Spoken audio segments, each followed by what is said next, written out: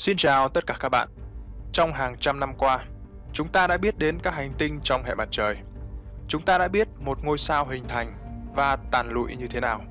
Chúng ta cũng biết đến các vụ nổ siêu tân tinh rực rỡ, các đám mây tinh vân nhiều màu sắc hay các ngôi sao neutron có từ trường mạnh mẽ. Sâu thẳm trong không gian vũ trụ, chúng ta quan sát thấy các thiên hà xa xôi, những vùng không gian khổng lồ lạnh lẽo. Chúng ta đã biết rằng vũ trụ đang giãn nở rằng vận tốc ánh sáng là thứ không thể vượt qua. Và chúng ta cũng có thể suy đoán vũ trụ đã khởi đầu từ Big Bang như thế nào. Nhưng mọi thứ bắt đầu dừng lại khi chúng ta hướng sự chú ý đến các vật thể đen tối. Sự u ám của một hố đen luôn khiến cho chúng ta tự hỏi có điều gì đằng sau vẻ ngoài đen tối đó. Chân trời sự kiện dường như luôn thách thức sự tò mò và lòng can đảm của chúng ta. Vậy, bên trong hố đen là gì? Có một điều mình cần phải khẳng định đây có thể là một câu chuyện không thực tế. Hãy coi nó giống như một chuyến phiêu lưu và mình sẽ cố gắng làm cho hành trình này đơn giản nhất có thể. Đầu tiên, hãy tưởng tượng là bạn sẽ sống sót sau một chuyến du hành vào hố đen. Tất nhiên, về mặt thực tế thì không. Hãy tưởng tượng.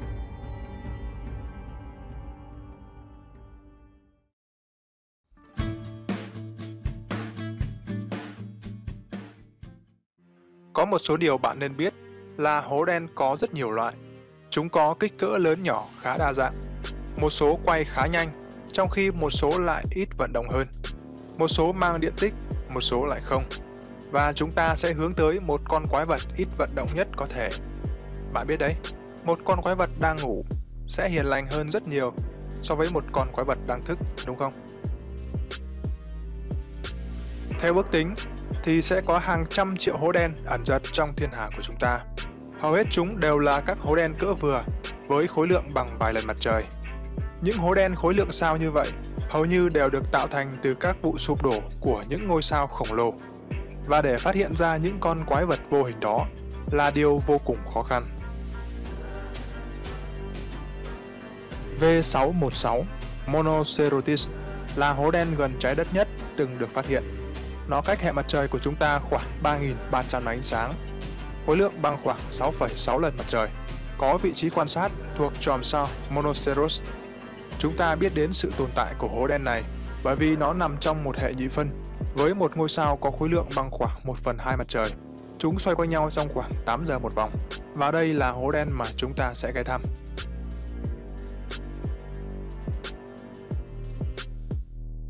Tất nhiên, trước tiên chúng ta cần một con tàu vũ trụ được trang bị tối tân nhất có thể trong trí tưởng tượng của bạn. Để cho chuyến du hành thêm thú vị, bạn nên rủ thêm một người bạn đi cùng. Bởi vì nếu Hoden có dẫn bạn sang một vũ trụ khác, thì ít ra bạn cũng không cô đơn một mình trong vũ trụ đó. Nhìn từ xa, hố đen này có vẻ không có gì đáng sợ. Trọng lực mạnh mẽ của nó làm biến dạng không thời gian xung quanh. Lúc này, nếu có một tia sáng nào xuất phát từ phía sau, chúng ta sẽ nhìn thấy hiệu ứng thấu kính hấp dẫn Hiệu ứng này cho biết ánh sáng sẽ bị bẻ cong như thế nào. Càng lại gần, bạn lại càng cảm thấy mọi thứ đang thay đổi chóng mặt. Các luồng bức xạ, các dòng vật chất đang tăng tốc một cách điên cuồng. Có lẽ bạn nên ôn lại một chút kiến thức vật lý về hố đen, nhưng có vẻ mọi thứ quá khủng khiếp và lạ lẫm, khiến cho bạn không thể nào nhớ được một chút kiến thức vật lý nào. Chúng ta có nên quay trở lại? Không, đừng lo lắng. Đây chỉ là chuyến đi trong giả định thôi. Hãy sẵn sàng, vì chúng ta đang chuẩn bị tăng tốc.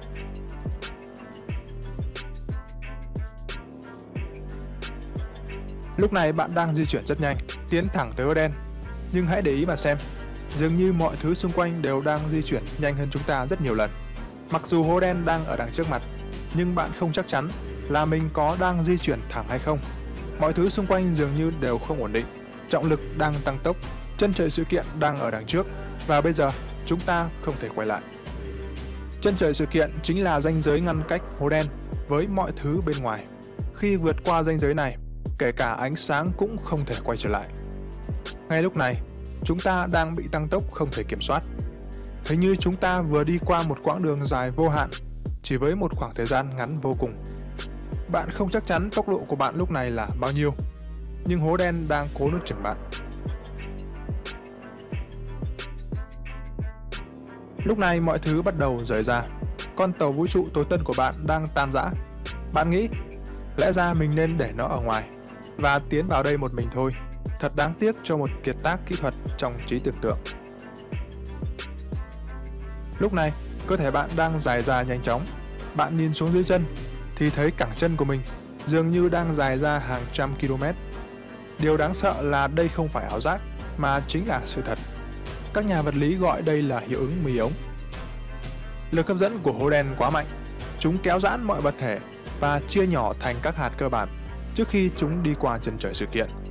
Tất nhiên là điều này không đáng ngại, mọi thứ diễn ra rất nhanh với chỉ một đơn vị thời gian. Thậm chí bạn còn không kịp cảm nhận thấy sự đau đớn. Có vẻ như bạn đang chuẩn bị đi qua chân trời sự kiện. Nó không phải là một ranh giới vật lý, nó cũng không giống như một lớp màng hay bề mặt. Thật khó có thể miêu tả thứ gì nếu như bạn chưa từng nhìn thấy và cũng không thực sự hiểu rõ về nó. Bạn chợt nhìn quay lại, mọi thứ bên ngoài vũ trụ trông giống như một bộ phim đang tua nhanh. Các ngôi sao lóe lên rồi nổ tung. Thời gian đang trôi nhanh một cách khủng khiếp. Tương lai đang đến với vận tốc ánh sáng. Chỉ trong nháy mắt, bạn nhìn thấy mặt trời của chúng ta cũng đã vụt tắt. Thời gian của bạn đang chậm một cách vô hạn. Cả vũ trụ đang trôi qua trước mặt bạn. Bỗng nhiên mọi thứ tối đen. Bạn đã đi qua chân trời sự kiện. Ở đây mọi thứ cực đoan đến mức không có gì cả. Tất nhiên, không cả ánh sáng. Bạn tự nhủ, thật là một ý kiến tồi khi mình đã không mang theo một chiếc đèn pin. Mọi thứ đang trở nên vô định. Bạn sẽ rất nhanh, rất nhanh di chuyển đến điểm kỳ dị, nơi có mật độ và trọng lực tuyệt đối. Một điểm duy nhất không thể cưỡng lại. Ngay lập tức, bạn sẽ cảm thấy cơ thể mình đang sụp đổ. Bạn không cảm nhận được rằng mình đang đứng yên hay đang di chuyển. Ngay kể cả chớp mắt cũng không thể. Đây thực sự là một cảm giác bối rối cực độ. Trong giây lát, bạn nhận ra rằng mình đang bị đưa đi, nhưng bạn không ý thức được vận tốc đó nhanh hay chậm. Điểm kỳ dị trước mắt bạn. Bạn quay sang trái, sang phải, lên trên hay xuống dưới, điểm kỳ dị cũng ở đằng trước mắt bạn. Điểm kỳ dị chính là mọi tương lai của bạn, và điều này không thể cưỡng lại. Chỉ có duy nhất con đường một chiều đó nó đưa bạn tới điểm kỳ dị trong khoảng thời gian hữu hạn. Nhanh đến nỗi bạn còn không kịp cảm nhận được đến sự bất ngờ. Ngay sau đó, à không, phải là ngay lúc đó, bởi vì ở đây khái niệm về thời gian đã bị loại bỏ hoàn toàn.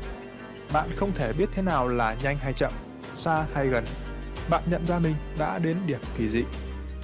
Mọi thứ hiện ra xung quanh bạn, giống như khi bạn vừa đáp xuống một hành tinh kỳ lạ. Nó hoàn toàn màu đen và rộng lớn mọi thứ không có gì đặc biệt và trống rỗng. Điểm kỳ dị trải dài từ đường chân trời tới đường chân trời. Trấn tĩnh lại một chút, dường như bạn đang ở khắp nơi xung quanh điểm kỳ dị. Bạn thực chất không nhìn thấy nó bởi vì nó nằm trong tương lai của bạn và bây giờ bạn là chính nó. Có những cơn mờ hạt ánh sáng rơi xuống bề mặt điểm kỳ dị. Bạn thấy nó đến theo từng cơn, giống như những đám mây mưa nhưng mọi thứ lại được phân bố rất đều đặn. Hố đen lại vừa nạp thêm vật chất.